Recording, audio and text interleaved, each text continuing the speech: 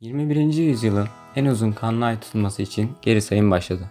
Peki kanlı ay tutulması nedir ve ne zaman gerçekleşecek? İşte kanlı ay tutulması hakkında bilmeniz gereken her şey. 27 Temmuz'da gezegenimizin uydusu olan ay, dünyaya yakın bir konuma ulaşacak ve bu tarihte ay tutulması gerçekleşecek. Avrupa, Asya, Avustralya ve Güney Amerika'dan görülebilecek bu tutulma, Türkiye'de saat 20.13'te başlayıp ertesi gün 2.30'da sona erecek.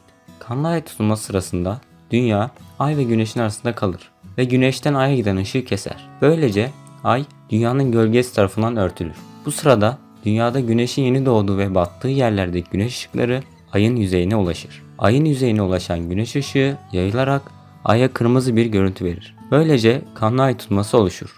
Kanlı ay tutmasını sadece dolunay evresinde oluşabileceğini de belirtmekte fayda var. Havanın kirlilik oranı ve bulutlar ayın renginde etkili olabilir. Şubat ayındaki mavi ay tutulmasını kaçıranlara bu doğal ayını da kaçırmamak için telefonlarına alarm oluşturmalarını tavsiye ediyorum.